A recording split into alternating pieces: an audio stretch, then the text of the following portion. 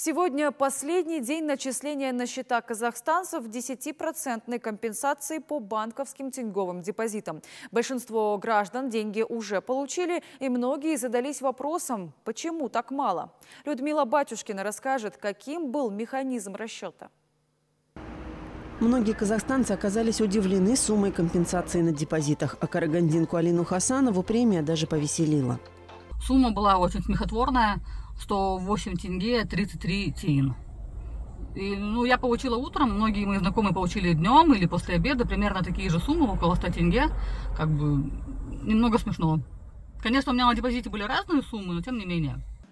Деньги банкам Казахстанский фонд гарантирования депозитов перечислил еще 16 марта. Одни банки добавили 10% на депозиты вкладчиков уже на следующий день, другие тянут до последнего. Как пояснили в Нацбанке, если в течение 12 месяцев, начиная с 23 февраля 2022 года, вкладчик хотя бы раз снимал деньги со своего депозита, то премию начислили на минимальный остаток за весь год. Если на вкладе оставалось 1000 тенге, то и компенсация будет 100 тенге. На компенсации претендовали около 5 миллионов казахстанцев, но в итоге большая часть не смогла сохранить деньги на депозите. Получили премию 2 миллиона 600 тысяч человек. Но и из них половина имела вклады до 100 тысяч тенге, поэтому компенсация составила меньше 10 тысяч. Компенсация от миллиона до двух получили 64 тысячи депозиторов.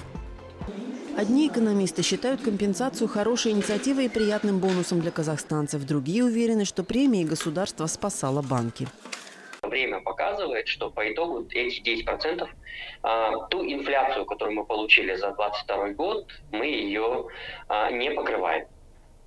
Покрыли, но только на 50%. Для того, чтобы погасить какие-то панические настроения, какое-то массовое бегство депозитов, а, или еще какие-то такие вот деструктивные процессы, когда происходят, когда прилетают вот такие вот черные лебеди, обычно люди склонны поддаваться вот этим паническим настроениям, для того, чтобы их как-то погасить, государство со своей стороны обычно э, ну, запускает какие-то вот такие меры.